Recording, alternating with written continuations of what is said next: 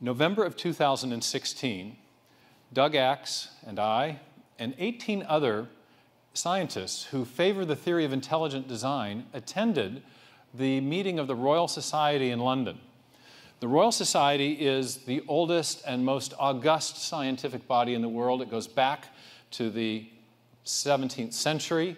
Sir Isaac Newton was one of its presidents. They had the portraits of all these heroes of science.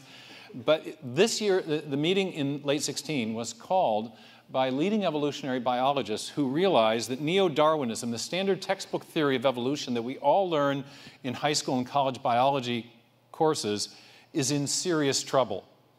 In fact, the opening talk of the of the, the conference was by a very prominent Austrian evolutionary biologist named Gerd Muller, who, whose talk was titled The Explanatory Deficits of, of the Modern Synthesis, which is a, a, a jargon term for neo Darwinism.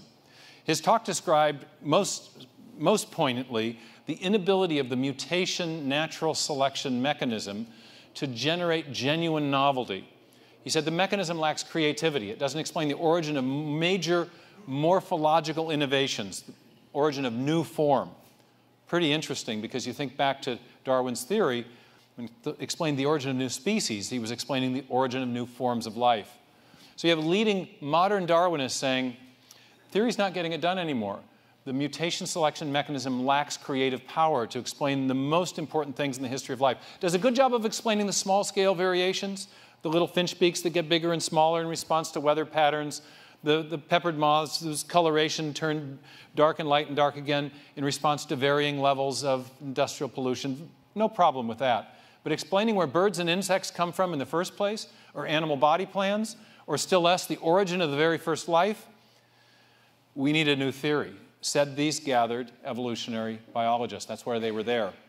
Now, they were exploring many other ideas, not the theory of intelligent design that I'll talk about tonight. They were working within a naturalistic or materialistic framework. So they looked at a lot of other evolutionary models, evolutionary mechanisms. But at the end of the conference, one of the people who had been instrumental in calling the conference together, a science writer named Susan Mazur, who's written about the post Darwinian evolutionary biologists, a group famously known as the Altenberg 16, said that sadly the conference was characterized by a lack of momentousness.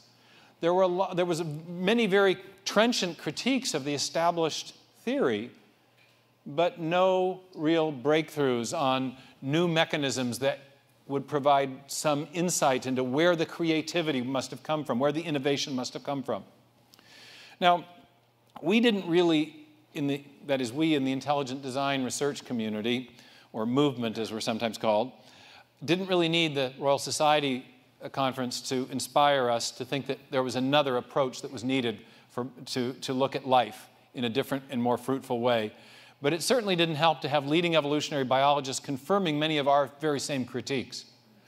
And so, what I'd like to talk about tonight is the theory of intelligent design, a little bit of the background on the theory, some of its core arguments, and then talk about the future we see for biology when, it, when biology is informed by the idea that a designing agent played a role in the origin of new forms of life, that life is a design system rather than a system that arose through unguided and undirected processes.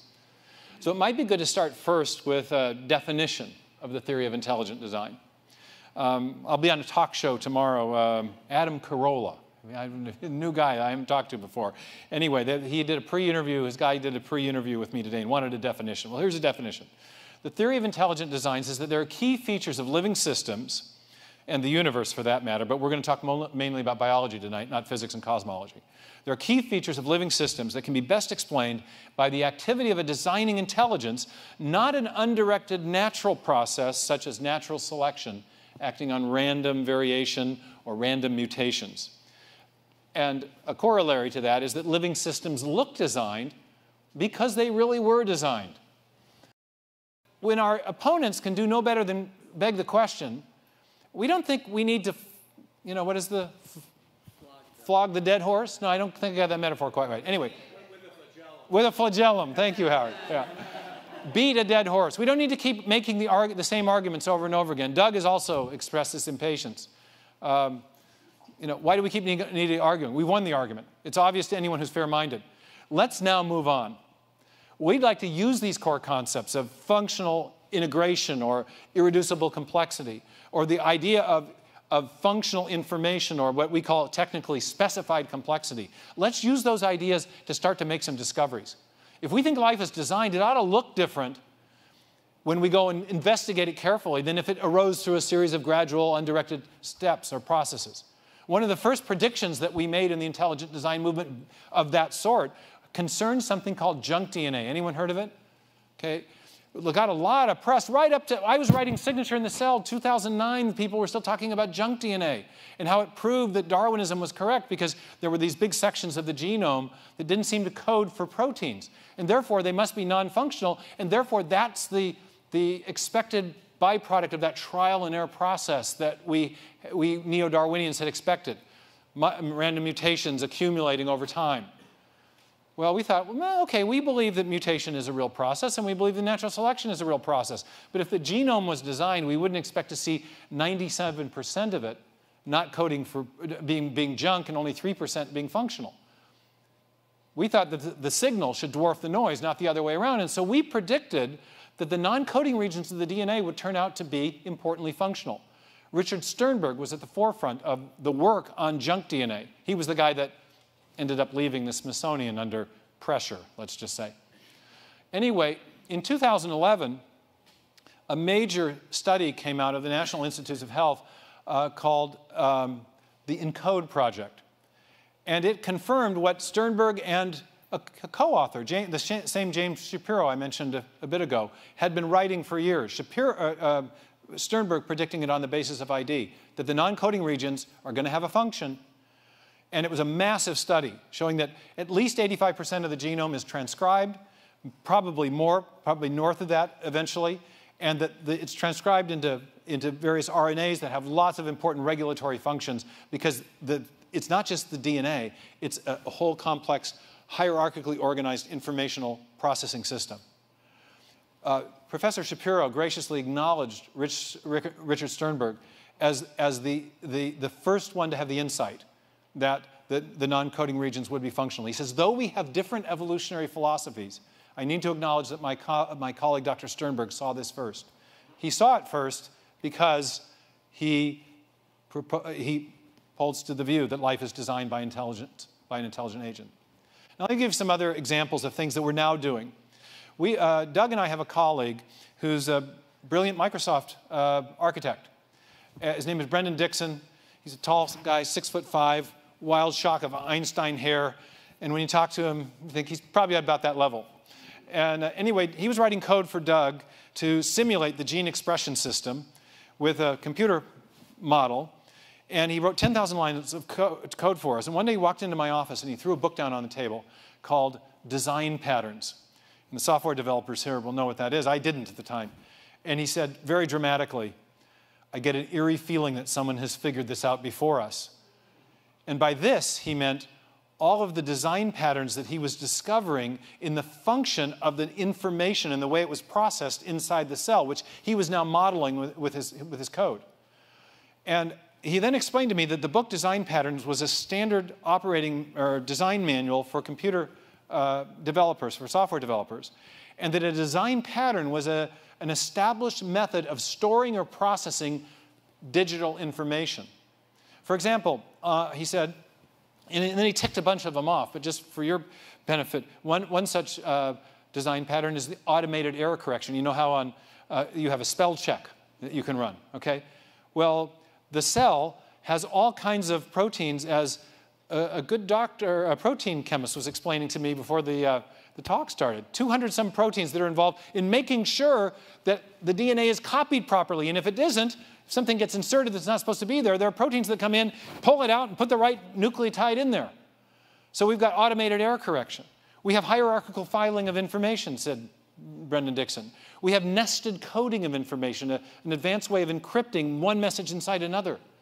And he said, I get an eerie feeling that someone figured this out. And then he went into Microsoft talk and he said, only it's like, it's, it's, it's the same basic design patterns, only they're being executed with an elegance that transcends anything we've achieved. It's like an 8.0, 9.0, 10.0 version of our own, our own advanced uh, um, design principles in computer science.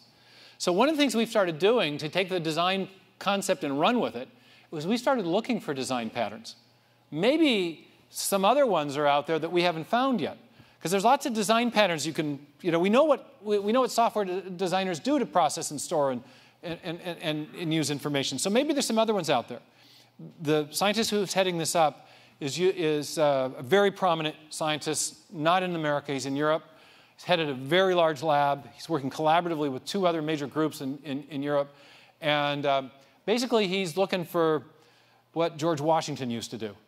Remember, uh, well, this is a little book we read to our kids called George Washington Spy Master. If you send a message, he'd write out a nice, innocuous message about, remember to, Martha, hang up the laundry on Tuesday. But if you'd start reading that same message one letter over, what, when, what biologists would call a change your reading reference frame, then there was another message. And that was the real message. So if you knew the, the, the cipher, if you knew the, the rule for how to read the message, you'd find the real message embedded in the message. And what this scientist began to look for, he thought, well, maybe there's some, if the cell was designed, and if we're looking for efficiency, then an efficient designer might build messages on top of messages so that you get a really dense information storage. So he started looking for overlapping genes in bacterial chromosomes. And he found that in every reading reference frame he looked, there, there are actually six possibilities, three going forward and three going back. He found multiple messages, genetic messages, that coded for other proteins. So this is just a stunning discovery. He, has an, an, he had an atheistic postdoc in his lab who was asked by people in an, an adjacent group, well, what do you make of this? They were actually having trouble getting the results published at first because people realized it's, it's hard enough to explain the origin of the information in just one reading reference frame. But if you've got messages layered on messages, you know how hard that is? I mean, by chance, you're going to get, because you start, if you don't get one right, if you try to change it and then wait, write another message, you're going to wreck the, the other message. So you got to really think that through, how you're going to layer it and make sure all of them are functional. In any case, this atheistic postdoc was asked by other researchers, what do you make of that? And he just went,